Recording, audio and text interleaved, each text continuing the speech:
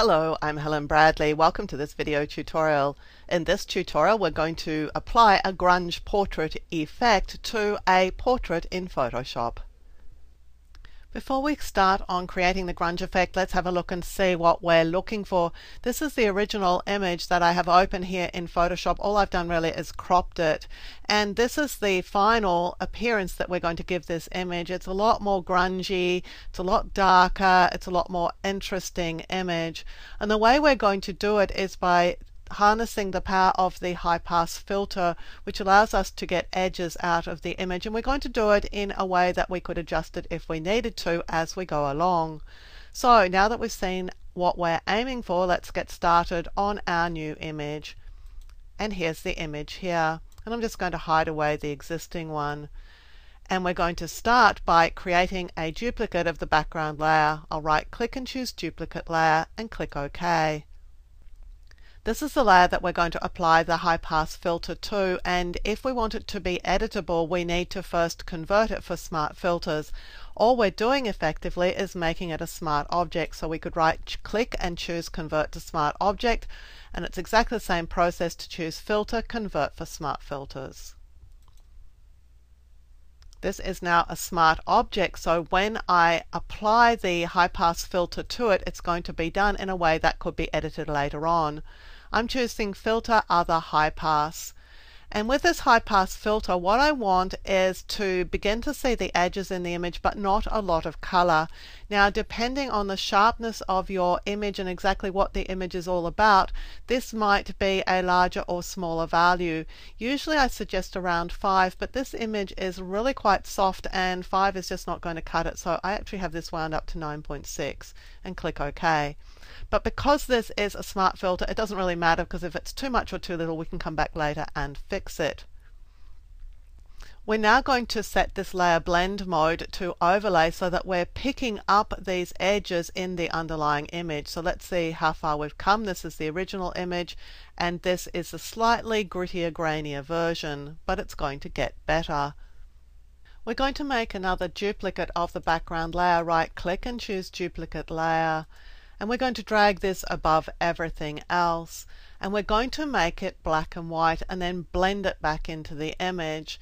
It'll be easier to do if first of all we set the blend mode to something like hard light so we see the effect that we're going to have. And I would like to do this adjustment using a adjustment layer so that we can also change that later on if we like. Let's start with layer, new adjustment layer, black and white. I'm going to click OK. And then I'm going back into this layer stack here and I'm going to clip this layer because right now this adjustment layer affects everything. So we have a black and white image. I just want it to affect this layer. So I click on this top layer and then either position my cursor between the two layers and press the Control and Alt keys, Command and Option on the Mac to clip that, or I could choose Layer and then create clipping mask. It's exactly the same thing. And what that does is it clips the effect of this black and white layer to just this layer underneath. Now we can have a look at our black and white layer and see how we can grunge up this portrait a little bit better because we're actually seeing the final results. Now we can drag on these sliders ourselves to make our own setting or we could select a preset and I'm going to choose the red filter because I kind of like that effect and I'm probably just going to lighten these red and magenta channels and perhaps even the yellow channel a little bit before I continue so I'm just going to close that down now. Now we've got the image that we want, we can fine tune it by adding another adjustment to it. And for this, I would use a curves adjustment. So I'm going to again choose layer, new adjustment layer, curves. And this is going to affect the entire image, this curves adjustment layer. And I just really want to lighten it and add a bit more contrast into these skin tones. If I click on this slider here, you can see where the skin tones are in the image. They're in this area down here. So I can drag around this area to increase the contrast in the skin tones, perhaps lighten them up a little bit as we go. And that's really personal preference at that point. So let's have a look and see where we started and how far we've come.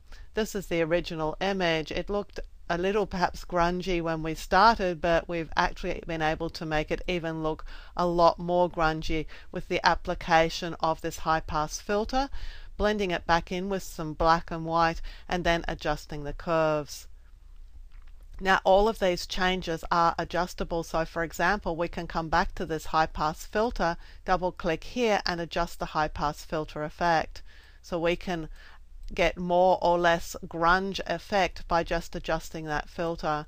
We can also come back here and adjust this black and white filter, double click here and adjust this. And the final adjustment layer was a curves adjustment layer and it's editable too. So there's how to create a quick and easy grunge portrait effect. It's all editable so that you can change it and fine tune it if you like. I'm Helen Bradley. Thank you for joining me for this YouTube video. Look out for more of my YouTube videos on this YouTube channel. I encourage you to subscribe to my channel so you'll be advised when new videos are released. And remember to visit projectwoman.com. You'll find more tips, tricks, and techniques for working with Photoshop, Photoshop Elements, and Lightroom and other applications there.